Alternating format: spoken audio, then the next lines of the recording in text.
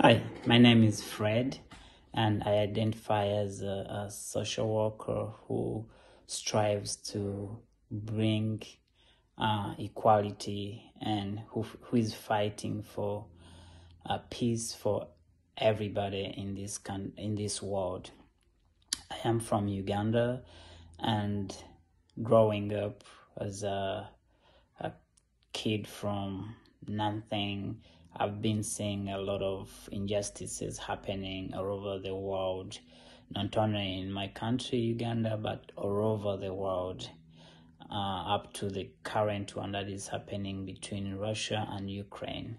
So it had it hurts my heart because these are the things that shouldn't be happening in the 21st century, where everybody is considered to be um, educated or at least there is a global awareness of things that is going on. And we have all the resources around us to uh, stop all the injustices that happening all over the world. But talking about the vision for our future we need to be more um, loving. We need to be more uh, self caring, and we also have to do self awareness. You have to look deep into your heart, to look deep in, inside you, and see what what are the things that you value. What are your values? What do you care for?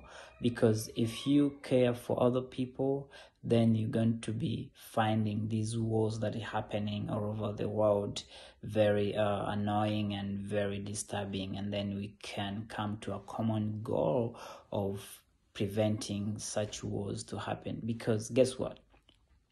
When a war happens, like what's going on between Ukraine and Russia, people who suffer the most are the innocent people. People who don't even have anything to do with the war. Things, people like kids, people like women, people like older people, people who are in the hospital looking for help, health care, and all of a sudden they hear oh, or their building bombed. And because of these wars, people cannot function. There's some countries like Congo where there is conflict over and over and over and people don't even function because they are scared of their lives. People live in in refugee camps. Nobody wants to live in refugee camps.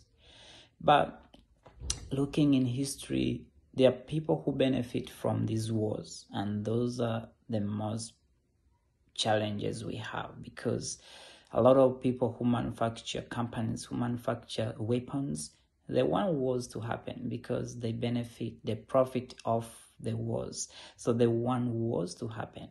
And as long as we still have companies big factories that manufacture weapons we probably going to have wars.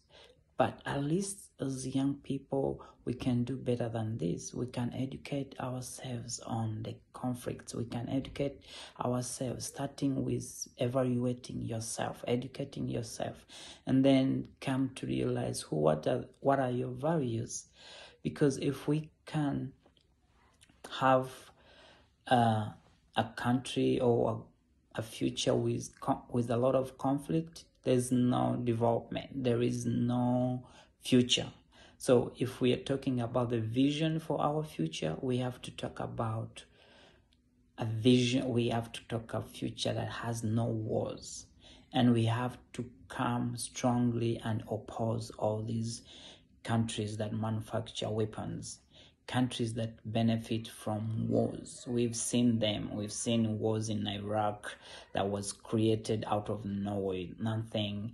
With propaganda, we've seen Afghanistan. People die every day, but other countries they have a lot of interest because they benefit from because in their countries they don't have wars. So you look at Europe. Europe has been uh, orchestrating wars in history, but they don't have wars, so they end up benefiting from all these wars. So we have to do better than this. We have to encourage peace talks.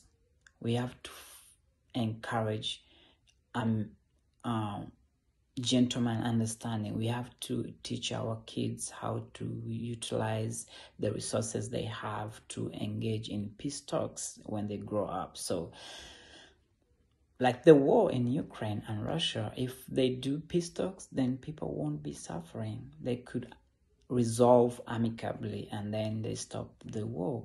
We also have an issue of United Nations Security Council that has permanent members. And one of the permanent member if they veto whatever resolution nothing is going to happen. That's why russia is taking advantage of ukraine because it's one of the permanent member on the united states council.